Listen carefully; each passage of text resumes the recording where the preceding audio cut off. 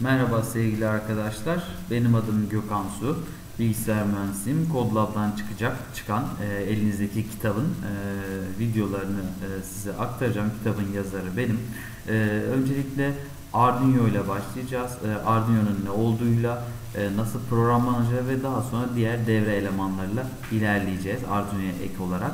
Öncelikle Arduino'nun ne olduğu e, ve nasıl bir e, ürün olduğu konusunu konuşalım. Arduino muhteşem bir ürün, açık kaynak kodlu e, ve bu ürünle yapabileceğimiz şeylerin sayısı e, sınırsız demek istemiyorum ama oldukça geniş.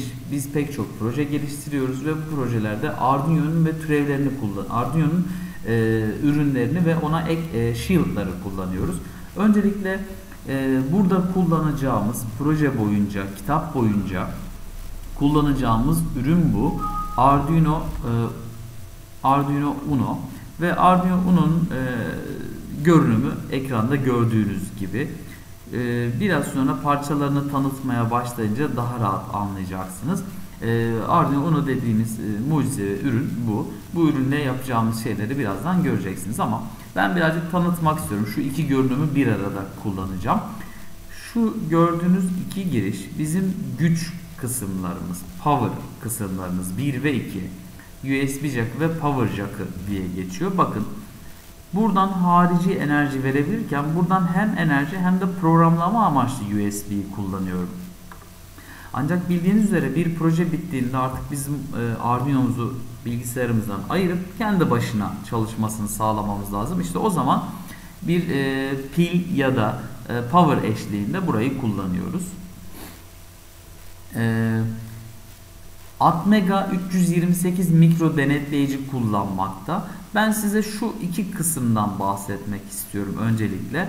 Bizim enerji kısımlarımız buralar. Şimdi diyeceksiniz ki 1 ve 2 neydi? Dışarıdan aldığımız enerjiyi proje içerisinde kullanacağımız 5 volt ve 3.3 volt şeklinde kullanacağımız kısımlar buralar. Toprak da o enerjinin e, akması için kullanacağımız kısım. Bunların detaylı anlatacağım size. Analog girişler bu bölge, dijital kısımlar bu bölgede.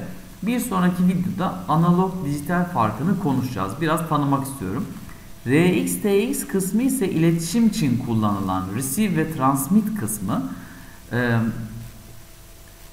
genel anlamda Arduino Uno böyle bir ürün. Arduino Uno'da 6 e, tane analog giriş söz konusu, 14 tane dijital giriş çıkış söz konusu. 6 tanesi PWM'dir. PWM'i de konuşacağız sizlerle.